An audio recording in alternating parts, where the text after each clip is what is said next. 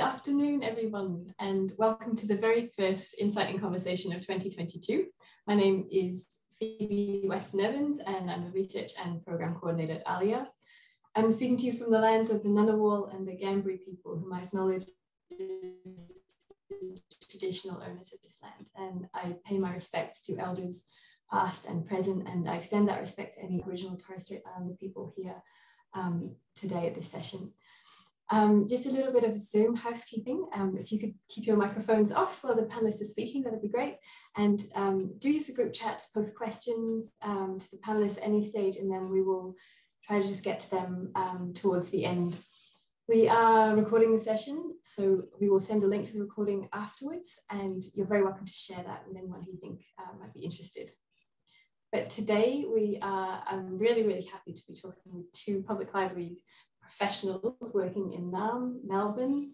Um, we have Brendan Eichholzer, who's the Marketing and Communications Manager at Yarra Plenty Regional Library, where he's worked for two years. Um, Brendan was previously part of the team at ALIA, uh, where he edited INCITE magazine, so it's really great to have you back. Um, Brendan has created and led um, numerous marketing and advocacy campaigns, both in libraries and in the education sector, and Titian Brady is the library and, uh, sorry, the library IT coordinator at Kingston Libraries. Um, she's got an interest in blending the uh, library's role as a cultural institution with new technologies to elevate diverse voices in our communities, which is um, especially interesting in the context of today's conversation. Um, so welcome, Brendan and Titian. Um, to start off, just briefly for those who aren't familiar with your articles that were in the latest issue of INCITE, could you give us just a brief overview of the background of the initiatives you've been working on? And Brendan, if you could kick us off, how did the um, Return Yourself to the Library campaign get started? Yeah, more than happy to. Uh, so the Return Yourself to the Library campaign uh, had its genesis at uh, Public Libraries Victoria special interest group meeting uh, for the library marketing professionals um, in the early stages of 2021. Uh, so Melbourne was just coming out of that serious uh, second lockdown that we had, uh, which was went on for quite a while, and we found that we had a pretty significant drop in what we wanted to have as our footfall. Uh, so I was asked by my manager the week prior to this meeting to start thinking about developing a campaign to get people to come back into libraries and to, to you know, um, get that footfall numbers back up. Um, and in the, in the meeting, we were having discussion, we realized that this was a common problem, that we were all having the footfall issues and that um, uh, we were all being asked to do something about it. So we thought, well, why, why don't we, um, you know, concentrate our efforts, put together a working group, make this a statewide campaign where we could create collateral uh, at, at, a degree and at a quality that could then be used by everybody rather than requiring each of us to do it individually. Collectively would get much more done. Uh, so we started working on what the campaign looked like. Uh, somebody had the brilliant idea of the return yourself to the library, you know, tagline, which um, then formed everything else that we did once we worked out that we had that aha moment. Um, we then presented to um, the Public Libraries Victoria General Meeting um, and pitched this idea. We said, look, we, this is what we want to do. We've got a working group of five people. We've got contributors from you know 20 others uh, services um, through LibMark. We want to develop this campaign, but we need funding. Um, and we asked for fifteen or twenty thousand dollars or thereabouts, and we ended up with thirty-two thousand dollars from twenty-seven different library services in the state out of the at that time, I think it was 49 library services in the state. Uh, so then we spent the next forever, um, next year, developing this campaign and having very stop-start launches uh, for it. Uh, we eventually were able to release the collateral in November, uh, but we haven't really pushed the campaign because, as we all know, things changed pretty quickly after that. So uh, the, the real push of the campaign is going to come at the end of this wave. Uh, we're hoping that this will be the last wave, but we know that's probably not going to be the case, and we're going to have to start all over again, quite possibly. Uh, but the cornerstone of the um, campaign uh, that we're just finishing developing now is a series of 10 40 second videos uh, which highlighted each dip one highlights a different tribute that libraries offer users. So there's one about uh, you know tech help and access to tech. There's another one about um, welcoming and inclusive spaces. There's uh, um, story times and events and activities and things like that. They're all featured in these different little videos. So they're going to be the cornerstone of our campaign that pushes the campaign, hopefully, across the state, throughout the region, and go on from there. Um, and it's really important from our point of view, since we've been, uh, this is a statewide funded campaign, that we make it accessible to even the smallest of the libraries that are in Victoria, public libraries in Victoria. Uh, so it's, it's, it is there, it's ready to pick up and go. All of the collateral's there, they just need to grab the video, share it online. But those uh, larger services who have more staff can also then take all of the design files and do what they want with them. We're not being um, when we don't have hard and fast rules about what you can and can't do with it. We're basically saying, we've spent your money, here's all the things that you can do, go and have fun with it, do what you want. So you can pick it up and run, done, easy. If you don't have time doing more, but if you've got more, you've got more things to do, uh, you, you can set your own goals to achieve uh, what you're going to achieve. And as part of that, our, our, our KPI essentially for the um, campaign is not how many people get through the door or how, uh, improved events attendance or loans or anything like that. It's purely how many library services are using the collateral uh, because each library service will use them in different ways for different goals. So yeah, that's a brief overview what we've been doing. Yeah, thank you. And I'm sure there's you know, everyone's looking from across uh, the state of Victoria, but um, I'm sure there's people watching and anticipating this um, from across Australia. Um, and Titian, I really love the idea of the short story dispenser. Can you give us a little background on how that collaboration got going and, and where it where it is now? Sure. The um, the short story dispensers were an initiative that was um, introduced by our library manager at the time, Jane Grace, and she had uh, worked in a library in the US that had them. Uh, we were quite keen to be the first in Australia to get them, but due to various delays uh, in, in the ordering process, unfortunately, unfortunately, there is one person, one council in uh, Perth that beat us. Them. So we're the best public library to have gotten them. Um, the idea was really around uh, sharing sharing stories in different ways and outside of the library branches. So um, trying to meet those people who don't come into the library or don't think of the library as, you know, somewhere that they um, would normally come to maybe see the library in a different way, to think of it as being a little bit more innovative and not their high school library from when they were a kid. So um, essentially the idea was that we were going to take them out to um, festivals, we were going to take them to sporting events, we were going to have them in busy cafes and shopping strips and anywhere where, where we might encounter, you know, large numbers of people all together. Um, unfortunately, this we took delivery of the short story dispensers in February of 2019. Uh, we shut down in March and uh, it was uh, a challenge to really get those out there and get them to the community in a way that um, was accessible when we were constantly going through lockdown, open, lockdown, open, and trying to start a new program when um, you don't know if in six weeks' time you're going to be open, uh, really, I think, brought to the fore the the kind of um, momentum that is behind a library service and its programs.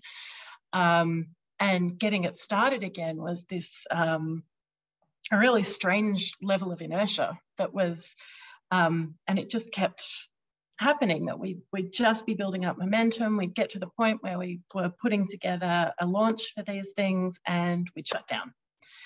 And it was always being shut down very, like there might be murmurs about it for a few days beforehand. Oh, we think we're going to shut down again, but there was very little notice. So trying to do anything on a long term plan um, it, it, did make it quite difficult to uh, have that, you know, well, who knows where we will be.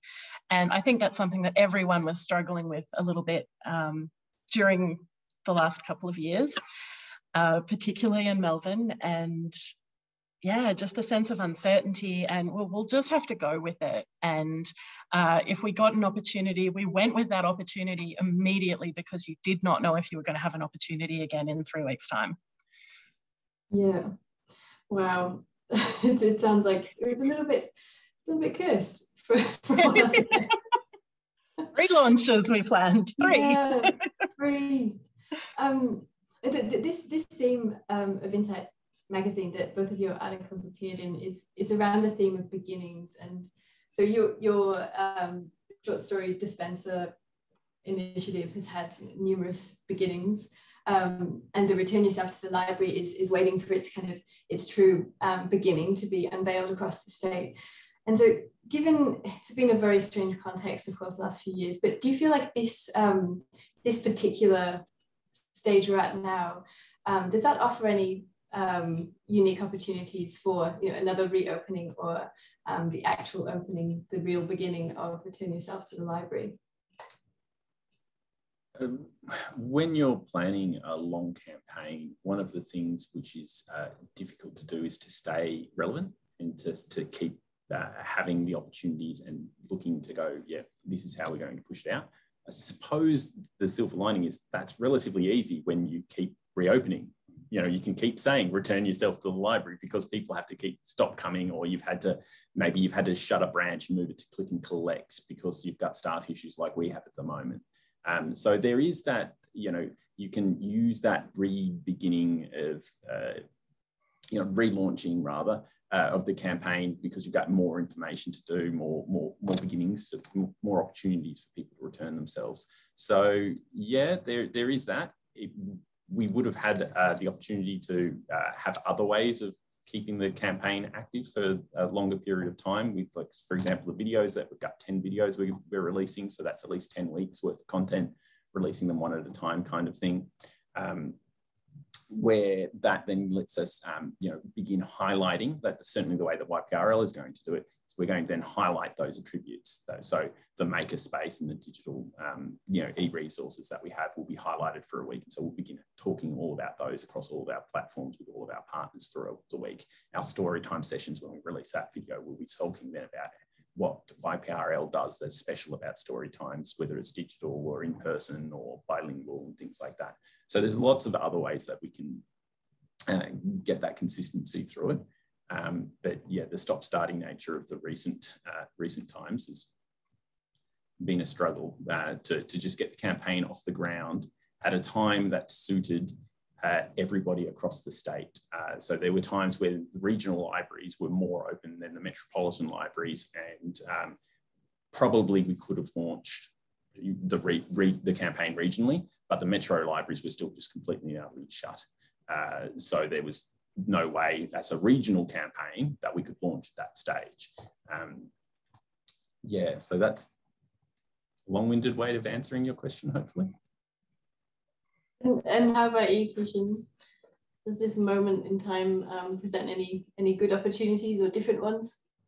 I think the biggest challenge with the current moment in time is trusting it and feeling like it is that that sense of security that yes we are moving forward. We are opening up. There won't be more lockdowns. There um, it's there's been a lot of times where we've opened with great optimism and then the world beyond our control has um, just, well, it's beyond our control, you know?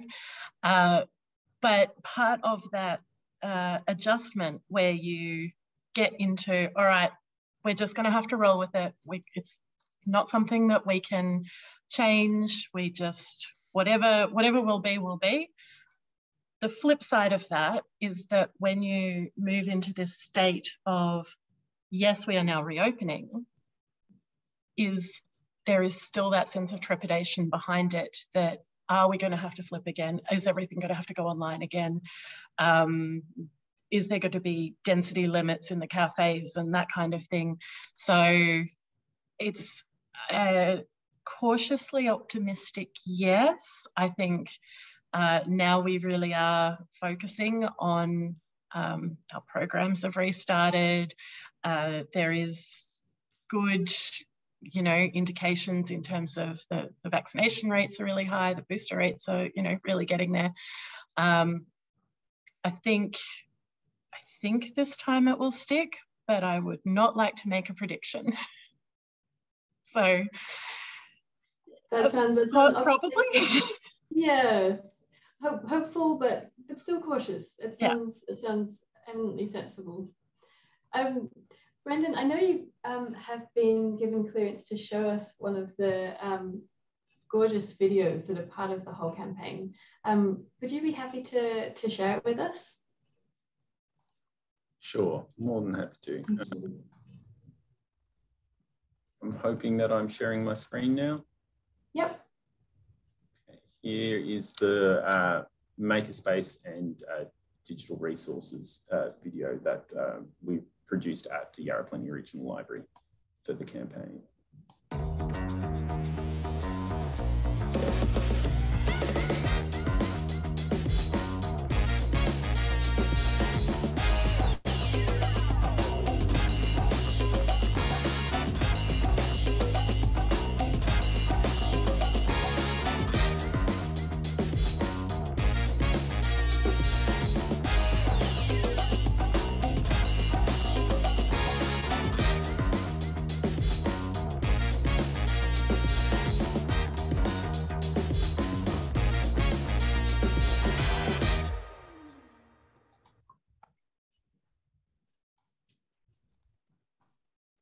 That's great. There's so much. There's so much energy in there. Um, and how many people? Um, and must have been lots and lots of people working on that with all their different ideas. Um, so how did the, the the workflow end up being distributed?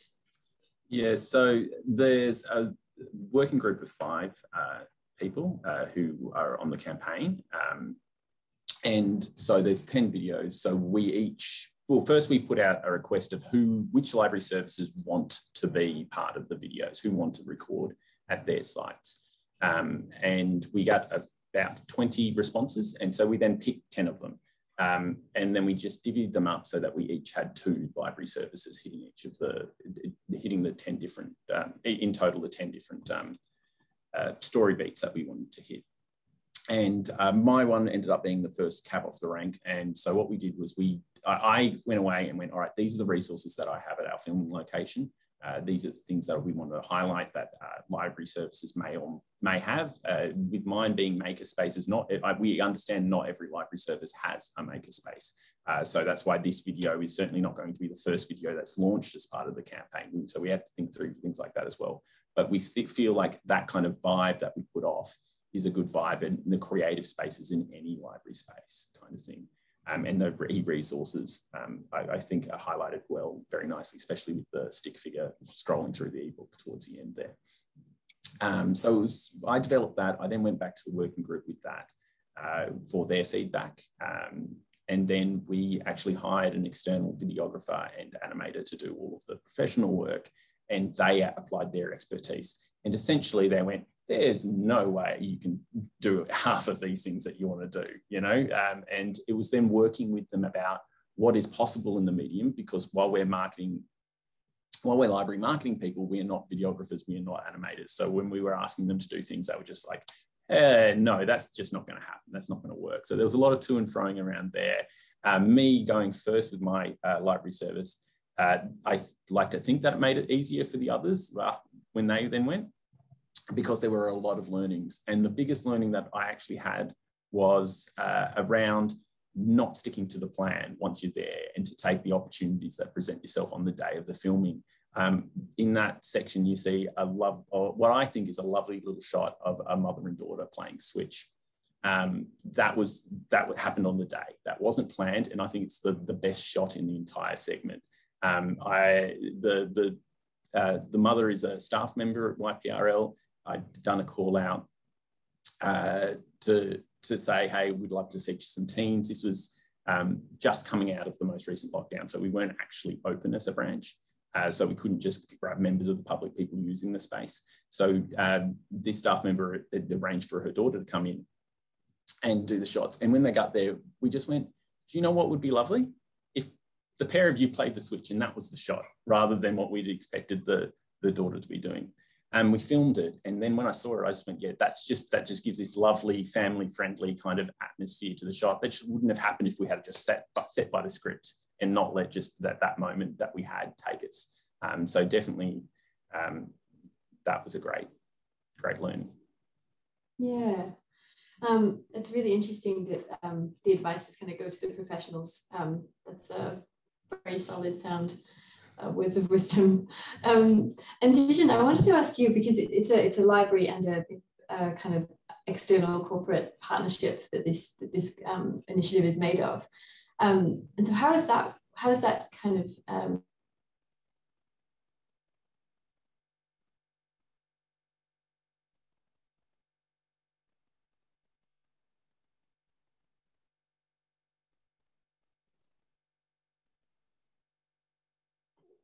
seems that um, Phoebe has frozen. Um, something's gone awry in the ALIA office. I'm not sure, sorry, what question she was going to ask, but um, I might throw to the chat. Um, and Lee has asked a question of Brendan. Uh, will the PLVN group release campaign info to statewide media as well as through individual libraries to help get wider traction? So the there is a very limited advertising spend statewide. So the we've spent the majority of the thirty-two thousand uh, dollars.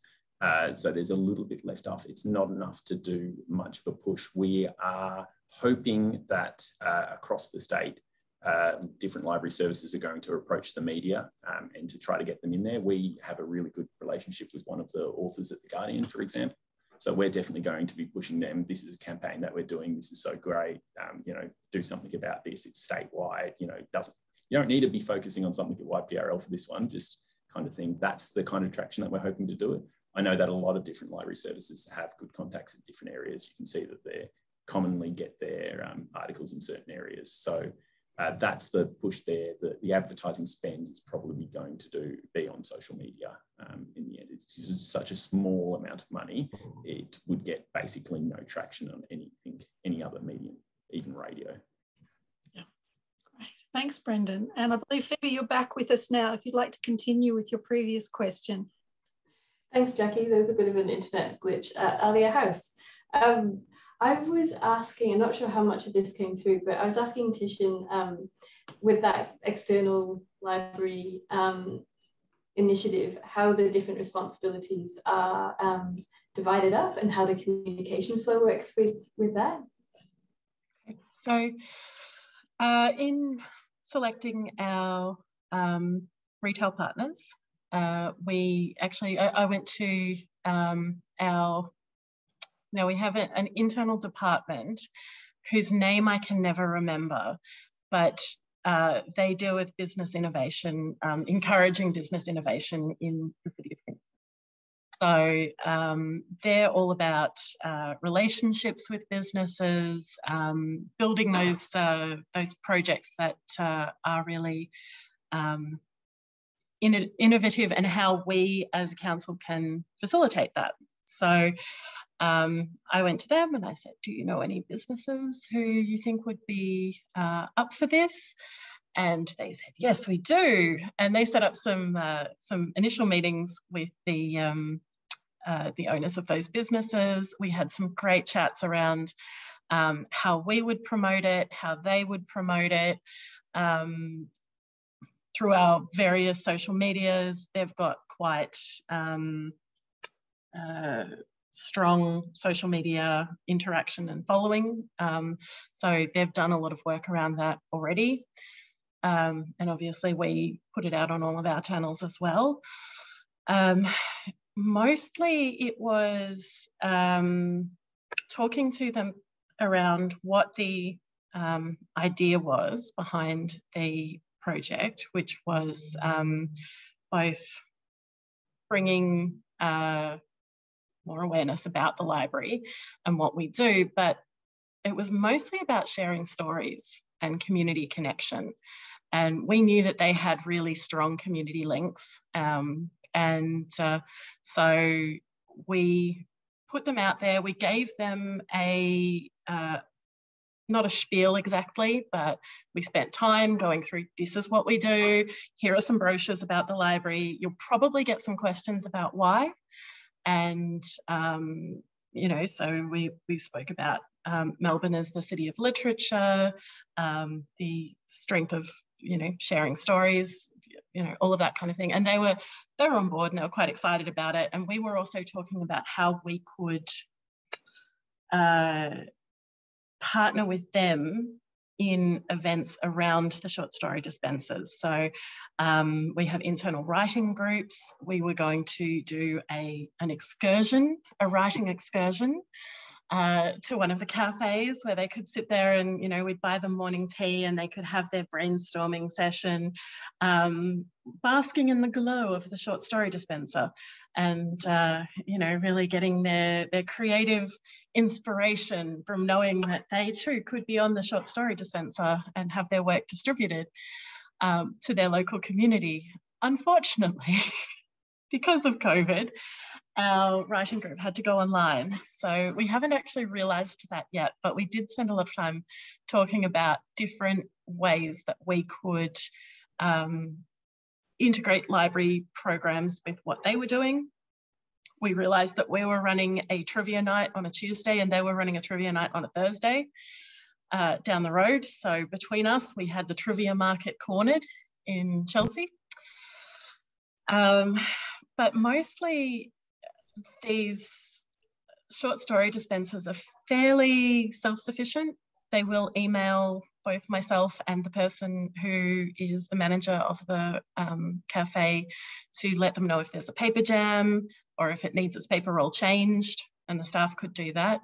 But mostly it was about getting them trained up to answer some questions that they would probably get, uh, discussing how the different marketing strategies would go um, on both of our sides, who would be uh, creating uh, the collateral, um, what they needed on their side for us to, you know, send them the correct branding and everything for their marketing team. Um, and then we rolled it out and the, while the feedback has been people have loved it and we've, you know, seen that on, you know, social media feedback and from how many stories are being printed there hasn't really needed to be that much effort on their part.